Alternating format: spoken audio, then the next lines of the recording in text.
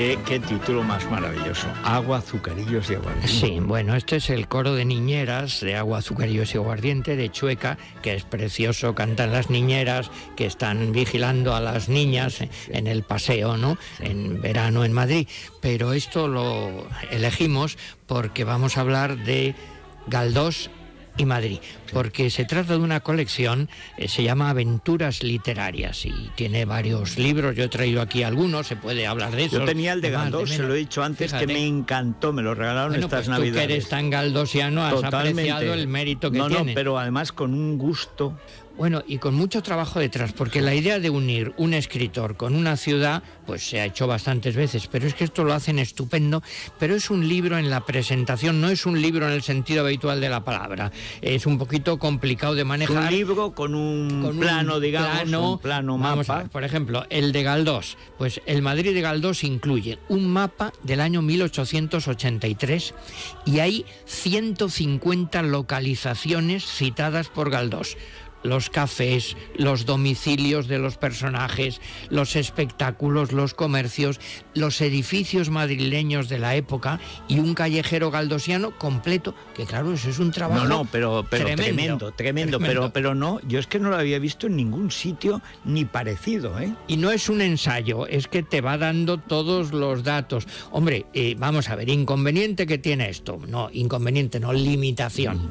Claro, primero hay que leer a Galdós antes, claro. o sea, esto no sustituye a la lectura. Ahora, si ya lees a Galdós y te gusta, es una manera de profundizar y disfrutar pues enormemente. Y además es que en el caso de Galdós está tan unido a, a Madrid, mira, he elegido solo una frase. Este Madrid que tantas curiosidades encierra, hoy presenta revueltas las primicias de la civilización y los restos agonizantes del mundo anterior.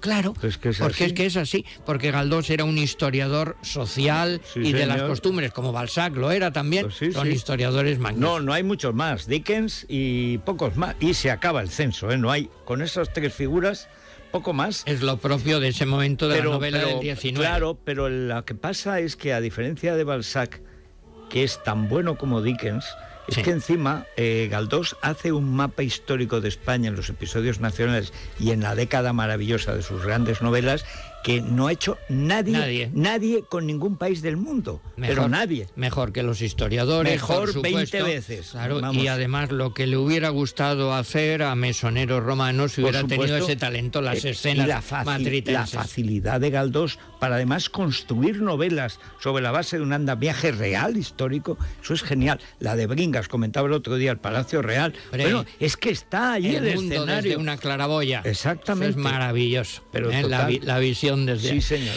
Bueno, pasamos después de Galdós a otro ejemplo, pues también muy, muy llamativo. Nos vamos con otra música, Asturias. Si la nieve resbala, ¿qué harán las rosas? Ya se van deshojando las más hermosas. Ay, amor, si la nieve resbala, ¿qué haré ¿Tú conoces esta canción? Bueno, pues yo llegué a ella, como tantas cosas, la ignoraba, porque soy un ignorante de muchísimas cosas. Resulta que Ignacio Sánchez Mejías le escucha a Federico García Lorca leer una de sus comedias, en Madrid, en verano.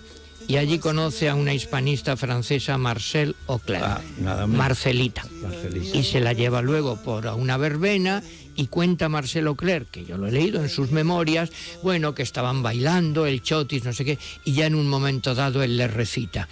Si la nieve resbala por el sendero, Y claro, ¿qué ella- yo? y ella, cae en sus eh, brazos. ella claro, resbaló, ¿cómo ya no vas a es- resbalar? Es que es el amor Un inevitable. el tío más guapo de España, el más educado, el Pero más qué bien elegido esto, ¿eh? una canción asturiana momento. preciosa. Además le podía haber dicho, "Uh, no, no, dice, si la nieve resbala y claro, ya por el resbala, sendero, pero ¿qué haré yo? claro. Bueno, pues esto nos lleva a hablar de Oviedo, o sea, de Vetusta, en la regenta de Clarín. Y claro, es que Clarín es tan bueno como Galdós, como Flaubert es tan Sí, bueno como Balzac. Balzac, sí. Es un genio distinto. Diferente, pero- pero también genio. la regenta es un mundo a partir de una ciudad, Sí, de. Vetusta. Entonces, claro, conocer Vetusta, ¿qué es lo que nos da? Pues el mapa de Vetusta Oviedo en el año 1884, con 61 lugares clarinianos, textos sobre cada lugar y una cosa que, bueno, parece una tontería, pero es que es utilísimo, un árbol de personajes.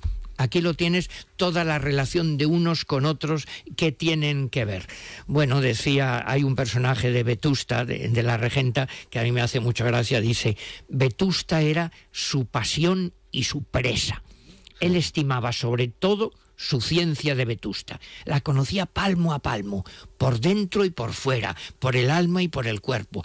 Había escudriñado los rincones de las conciencias y los rincones de las casas. Claro, imagínate el magistral ahí Sí, con el catalejo sí, que siempre es- que es cla- controlando que todo. Es Clarín definiéndose a sí mismo. ¿eh? Bueno, como él Porque quisiera él- ser. Exactamente, no como lo que él habría querido. sí, Pues como todos los que escribimos, todo, un poco lo que quisiéramos. Sí, ser, sí, ¿eh? sí. Bueno, entonces para La Regenta, que es maravillosa, de las mejores novelas españolas de toda la Sin historia de la literatura, sin duda ninguna, pero que es fundamental conocer Vetusta, conocer el Oviedo. Oviedo de fines del 19. Bueno, y luego el tercer eh, libro que he traído, pues nos lleva a otro lugar. Escuchamos otra música. Ay, ay, ay. Take this waltz, take this waltz, take this waltz, it's been dying for years. No siempre es el quejumbroso judío de Abner, tal, pero qué bueno. Bonita canción, ¿eh? Eh, pues el, este es Leonard Cohen con Take This Waltz, toma este vals, que está basado absolutamente en un poema de García Lorca, El pequeño vals vienes, de poeta en Nueva York.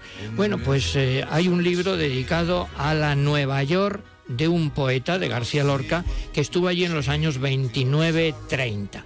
Y bueno, yo algo sabía, como es lógico, pero he aprendido aquí muchísimo.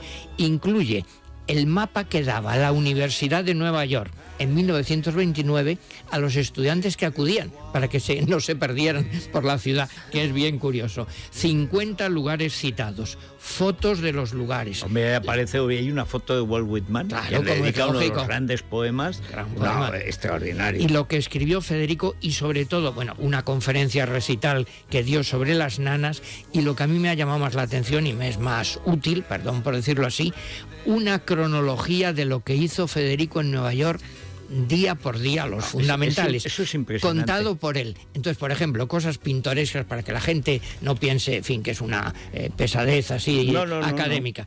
Le encantaba el rugby. Descubrí que el rugby es estupendo, que es precioso, que es un deporte moderno. Le gustaba mucho la revista musical negra. Descubre el mundo del jazz, el Hombre, mundo claro. de, las, de los músicos negros, el cine sonoro, absolutamente.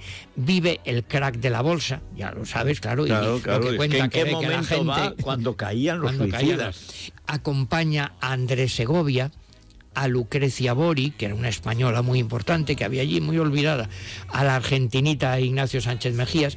Y mira, por ejemplo, una cita para que se hagan idea, que a mí me divierte mucho, es un poquito más larga. Asistieron a mi conferencia en Vassar College, Vassar, donde eran las señoritas más, eh, en fin, refinadas, unas 600 muchachas, algunas bellísimas.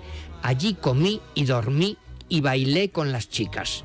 Se divirtieron mucho con la conferencia, que fue una especie de cansada, escribe Lorca en sus cartas. Me pagaron 75 dólares por las barbaridades que les dije.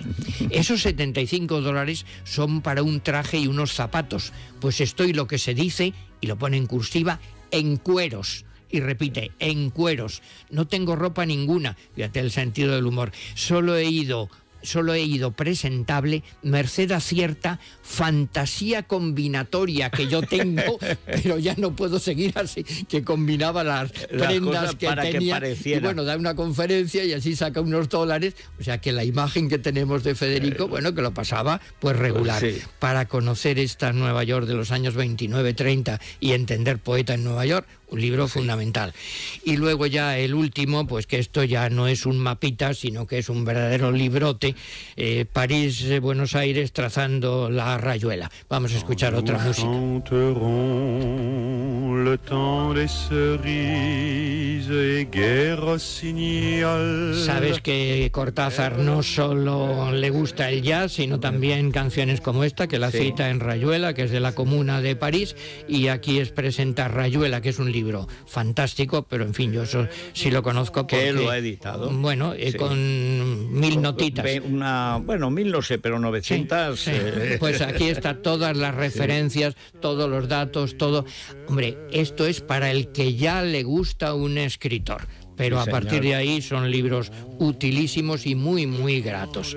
Aquí París, Buenos Aires, eh, de Cortázar. Hemos hablado del el Nueva York de García Lorca, la Vetusta, Oviedo de la Regenta de Clarín, el Madrid de Galdós, colección Aventuras Literarias. Unos libros preciosos. Totalmente recomendables y regalables.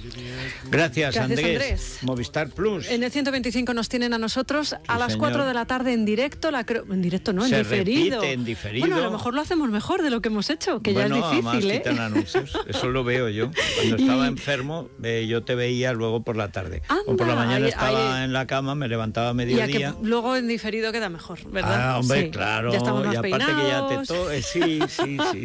Es la hora de la siesta, se ve todo en horizontal de otra manera. Bueno, pues eh, también nos recomiendan el programa La Resistencia, disponible bajo demanda en cero, que como saben muchos oyentes es el Late Late de Broncano, porque se emite unas horas imposibles, las 12 de la noche. Bueno, cuando ya nosotros estamos a punto de levantarnos para trabajar. Sí, como decía Rubén, La Resistencia somos nosotros. Exactamente. Bueno, vamos ahora, bueno, que nos lo cuente Laura Herrero. Efectivamente, Porque, porque, tenemos un invitado muy Sí, especial. un ¿eh? dispositivo eh, en los ojos, una especie de lentillas que nos van a ayudar a combatir la miopía y al día siguiente poder hacer cualquier tipo de ejercicio sin las molestias de las gafas que quienes las llevamos de verdad las sufrimos. A ver. Es La Mañana de Federico. Es Radio.